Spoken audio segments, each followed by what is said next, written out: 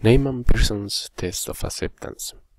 This presentation is about Neyman Pearson's test of statistical hypothesis, here called test of acceptance in order to prevent confusion with other theories.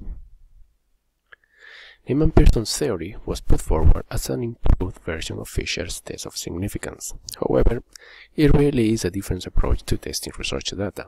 This test ran as reliably as a jet engine when used for the right purpose. For example, good knowledge and optimal control of important parameters such as effect sizes, type of test, error probabilities, and sample sizes produce reliable decisions as a matter of technical efficiency in the long run. Assessment of the research data comes at the very end, akin to being the spark that sets off the ignition process. Whether the research project itself will produce thrust or a misfire is partly tied up to the earlier parameters, and the output can be understood as a logical deductive product.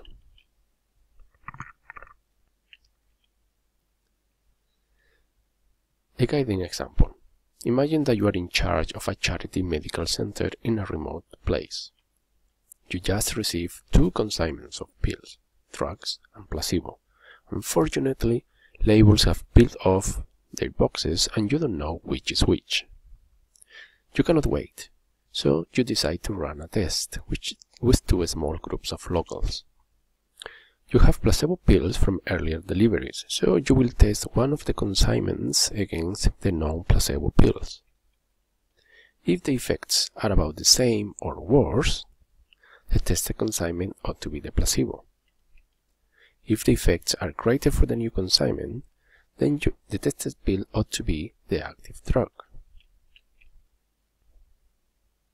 So the first step in the procedure is to set the population effect size. This is the known effect of the placebo pill in the population. It had zero effect on health, yet some people may still show health improvement or, or ill effects after taking it, of course not due to any active ingredient in the placebo. On the other hand, this is the known health improvement that the active drug has in the population. After taking the drug, people get a large health boost overall. Again, some people may show little effect, even some ill effects, while others may show an extremely large health boost. But overall, about 79% of the population benefit from taking the drug. The two populations sit side by side, their main difference being a shift in the health effect they get from the active drug. This is the effect size, a measure of importance.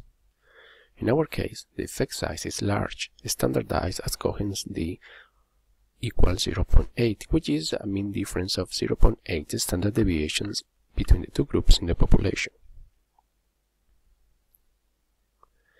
Good sampling will capture the difference in health effects quite well. However, the sampling distributions will show little overlapping as they represent errors of estimation, not standard deviation. And this will be a feature that will help us later on to clarify the workings of the test.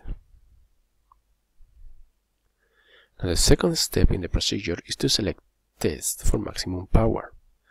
Power is a probability of a test of capturing differences due to the alternative hypothesis, in our case effects due to the drug. Thus, you need to think ahead about how you're going to test your research data, and then select the tests that give you maximum power. Among them, parametric tests, which are more powerful than non-parametric tests, and one-tail testing, which is more powerful than two-tail testing. Alternatively, you may also redesign your research in order to cater for those more powerful tests. In our case, we are going to use a t-test for independent samples, one-tail testing, and a sample large enough for ensuring 80% power. Because we have a case where the pills may be either placebo or active drug, we have two research hypotheses. Either there is no difference between the groups, thus the tested pills must be the placebo, or the pills increased health as expected, thus they must be the drug. Your research will come down to a decision, therefore. Either one or the other hypothesis explains the research data better. and with it comes the risk of making the wrong decision. The consequences of being wrong are typically higher for one hypothesis than for the other, so the hypothesis that reduces the risk of such consequences should be your main hypothesis. This cutoff here is set to reduce decision errors against the main hypothesis in the long run. So basically, what we have here are the main elements of Neyman-Pearson's test. Two explicit hypotheses, a threshold for controlling errors in the long run, and a decision about which hypothesis explains the research data better. In our case, wrongly providing ineffective drugs might bring about worse consequences, for example, preventable deaths, loss of trust, etc., than wrongly providing effective ones, for example, unnecessary treatment.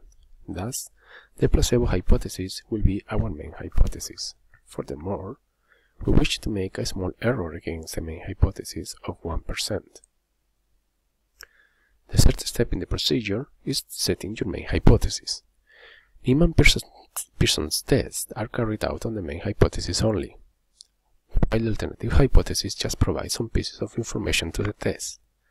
Let's represent this main hypothesis here now. So the relevant pieces of information is are the distribution of the main hypothesis, the probability of only rejecting the main hypothesis in the long run, or type 1 error, which we decided to be 1%. This is the alpha level, which will double as decision threshold later on. And finally, the proportion of the effect size that falls under the main hypothesis. That is, the alpha level also cuts the distribution of potential effect sizes between those accepted under the main hypothesis and those most probable under the alternative hypothesis. Thus, the main hypothesis actually incorporates a proportion of effect sizes, the minimum effect size, which are deemed too small for research interest. The first step will be to set up the alternative hypothesis.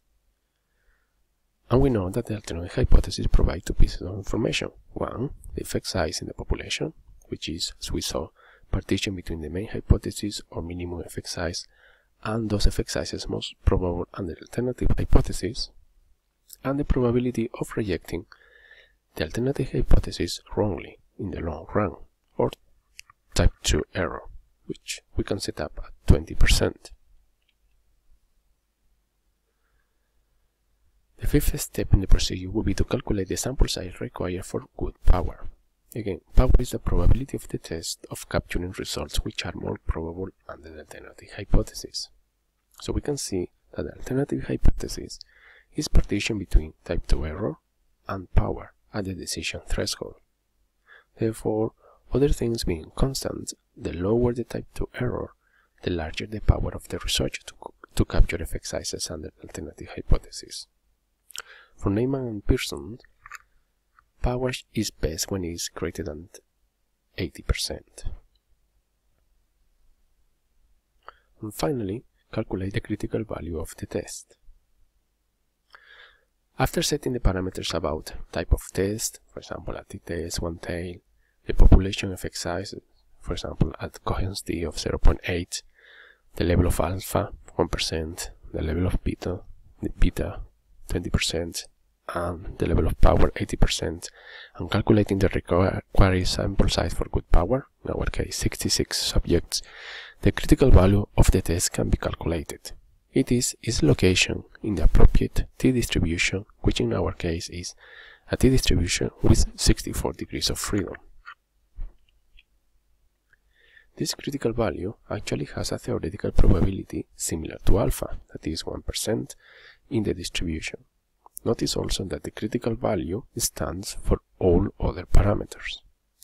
In any case, this step can be considered optional as the critical value and the probability level convey the same information.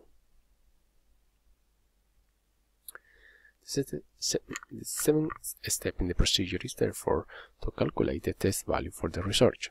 Let's say we carried out the research with a recommended total sample size of 66 people 33 per group, and we obtain a standardized mean difference between those taking the unknown pill and those taking the known placebo of t equal to 0.80. with a probability of 0.003 in, in favor of the former group. Above test value can be written into follow following the ways depending whether you are comparing it against the critical value or you are comparing it against the alpha level. And finally, the eighth step is to decide which hypothesis to accept. Once the test has been set, the results are interpreted deductively, according to where they fall. If they fall beyond the threshold, then you interpret them under the alternative hypothesis. For example, the results suggest the tested pills are the active drug. If, however, they fall below the threshold under the main hypothesis, it will be interpreted under this main hypothesis. For example, the results suggest they are placebo pills. One exception is if they fall under the main hypothesis but power is low. Then the study is inconclusive. For example, the results suggest they are placebo pills, but the risk of being wrong is too great as for making this conclusion. In our case, our value falls under the alternative hypothesis, so we can conclude the results are consistent with the drug having a large effect on the population, and therefore the pills must be the drug. And with this, uh, finish the introduction to uh, Neyman-Pearson's test. If you want to know more, this reference uh, about Fisher, Neyman, Pearson's or null hypothesis significant testing, a tutorial for teaching data testing will help you on the way as a written document.